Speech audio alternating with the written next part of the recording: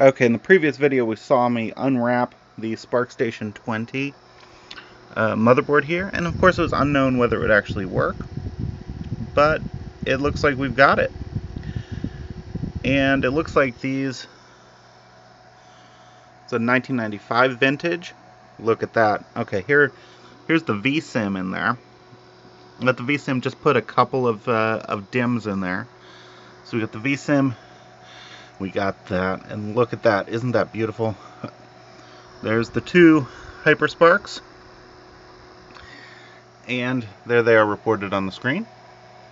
Uh, the 125 megabyte there. Two sticks of 64 uh, memory.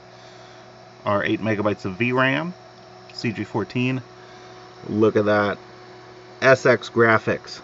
Uh, the ROM's a little old. It's a 2.22 seems to be working just fine What's amazing is the NVRAM battery is still good. After all these years, the NVRAM battery is still good.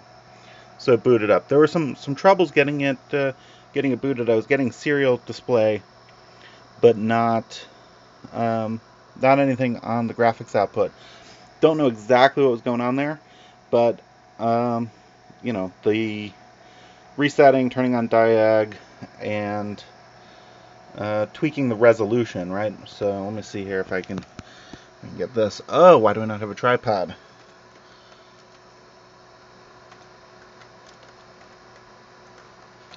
Take a look at my print environment. So yeah, I'm trying to output at 1024 by 768. I'm only getting 1152 by 900. Is that a problem with the VSIMM? I don't know. Or is it a problem with the LCD? Or a problem that because I I'm not setting it correctly. Apparently, you need to set it from CG14 config, which I'm not doing. So, interesting enough. Um, so I'll have to check this out. I'm playing with this some more in the future and getting it fully set up. But here it is in the basis, right? We can populate out to whatever that would be, six.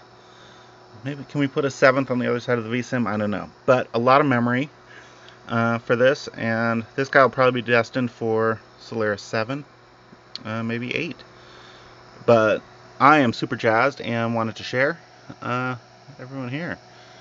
Um, but yeah, so pretty cool, and I'm excited. So I'm going to shut this off now, and I still need to find a box for it, right, which are surprisingly hard to find. Well, that's it for now.